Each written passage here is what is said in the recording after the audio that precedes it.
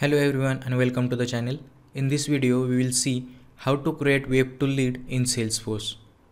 So basically what is web to lead in Salesforce? In Salesforce the web to lead feature allows us to collect a lead that means leads are potential customers. Collect the leads data from our website. This feature allows us to create a web form so that the lead can fill out by visiting our website. And after that, when the customer fills the form, that information will be stored in the Salesforce org as a leads record. So let's see how the web to lead works. Here you can see we can add the required fields to the web form. In those fields, the potential customer can fill the details such as their name, email and phone number. The web form we will create using a HTML template. In the HTML tags, we will use the leads fields.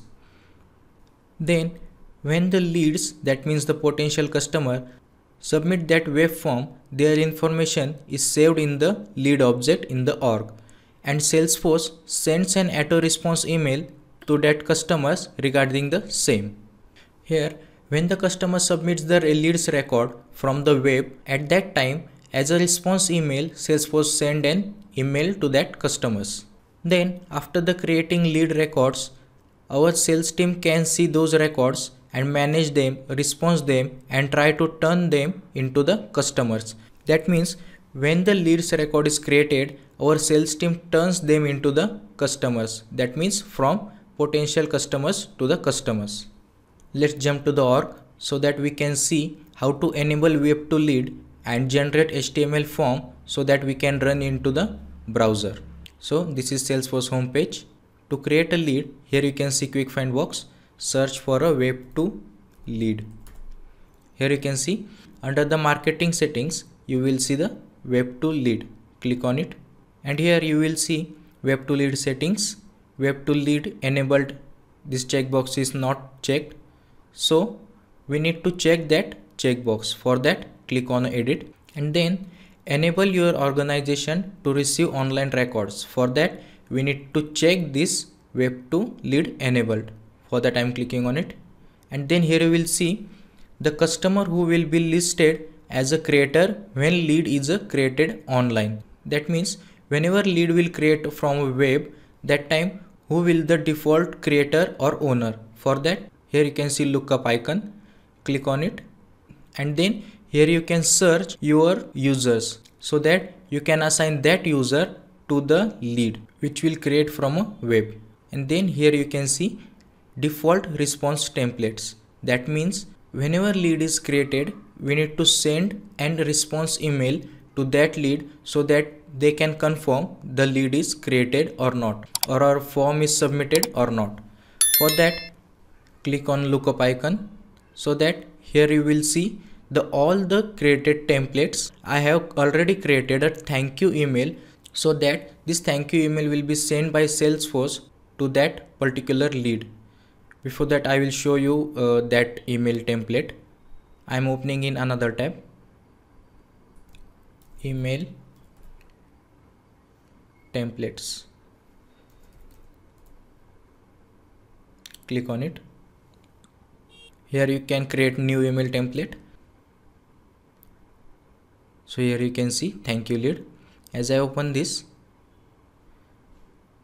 you can see. So this text template will be sent by the Salesforce to the lead. So coming to the web to lead. Here I am selecting thank you email template.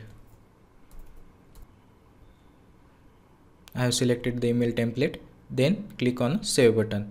Now you can see the web to lead is enabled then lead creator and the default response template.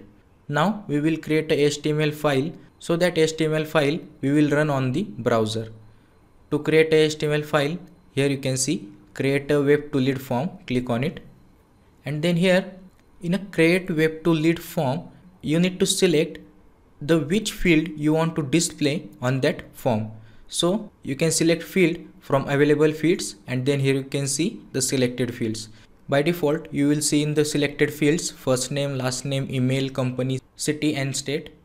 Now you can also deselect which fields you don't want in the selected fields or which fields you don't want to display on the lead form. For that you can select that field and then here you can see remove option click on it. Here I am removing fields which I don't want and select fields that you want to display on the form. So here I am selecting description then add it lead source and then rating. Now you can also rearrange the selected fields. So I want to lead source above the description. So select that field and click on the up button. So here you can see now lead source is above the description. After that here you can see return URL.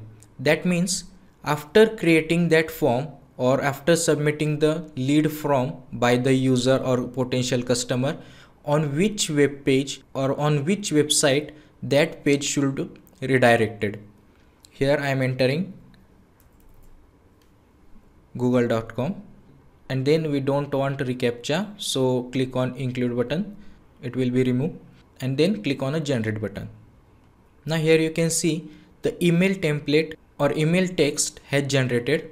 So here what you need you need to copy all the text and then click on finish button. So we have copied all the html text and then this text you need to paste on notepad or vs code.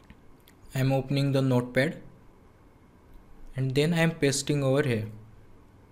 Now we need to save this text file with .html extension. For that i am saving this file as a web 2 lead form and you need to save with HTML extension.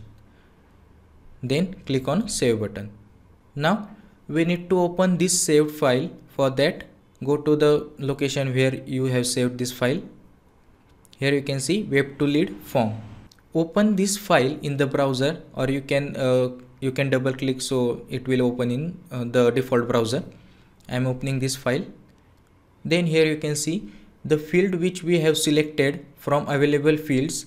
That fields are displayed over here. So now i am going to create one record. So i am entering first name alex. Last name armstrong so here i am entering my own email so that i can show you the received email. Select a lead source. So here I am selecting web. And then in the description testing the web to lead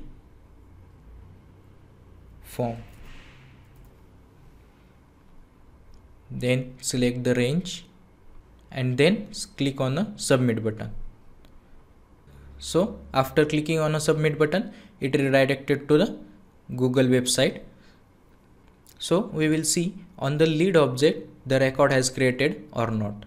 For that click on app launcher search for leads click on it and then in a list view here you can see today's leads click on it. And then you will see the record which we created from a web form is created in the leads object. As I open this record, click on the details. And now you will see name Alex Armstrong, then email, lead status, then description, testing the web to lead form and the lead source. So this is how we can create the leads from the web form. Now let's check the email has sent by the Salesforce to the leads email address. For that here you can see activity. Click on activity tab. As you scroll down here you can see today. Thank you for registering email has sent by the Salesforce to the to the lead address. As you click on it here you can see email subject then name then the lead name and then in the body you can see the text in email template which we have created is displayed over here. So this is how we can enable the web to lead and create a HTML text so that we can create a lead from web page also. Now I hope you have got an idea about web to lead, how it works and how to create web page for creating a lead. If you like the video, click the like button, subscribe our channel and hit the bell icon to get regular updates. Thank you.